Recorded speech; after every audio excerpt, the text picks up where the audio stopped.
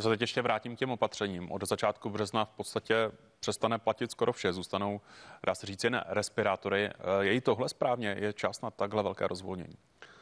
Eh, musíme se na to podívat v kontextu, eh, jak ta epidemie v podstatě probíhá a po těch dvou letech samozřejmě obrovské volání po tom, aby eh, ta opatření se rozvolnila. Je to celosvětový trend prakticky, takže tady nepochybně, pokud bychom měli respirátory delší dobu, tak by to riziko bylo mírně menší, ale pokud se rovnáváme ty přínosy obecné, tak skutečně nastává čas, abychom ty respirátory odložili a jestli to bude 15. března nebo nějak nějakém jiném datu. O tom samozřejmě rozhoduje vláda.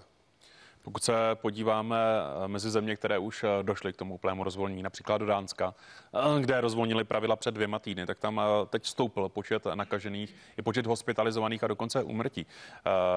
Měl by to být i trochu ostrašující příklad, aby jsme třeba nebyli až tak horliví v tom rozvolňování.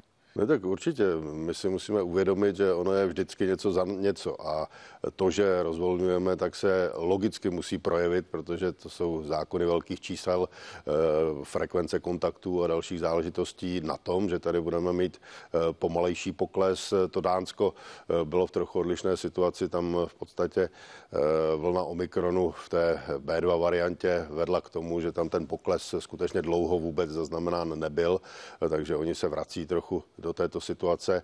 Eh, u nás se domnívám, že eh, velké procento osob se už eh, s virem setkalo, další poměrně velké procento bylo proočkováno, takže já neočekávám, že by tady došlo i tímto rozvolněním k nějaké dramatické vlně Omikron.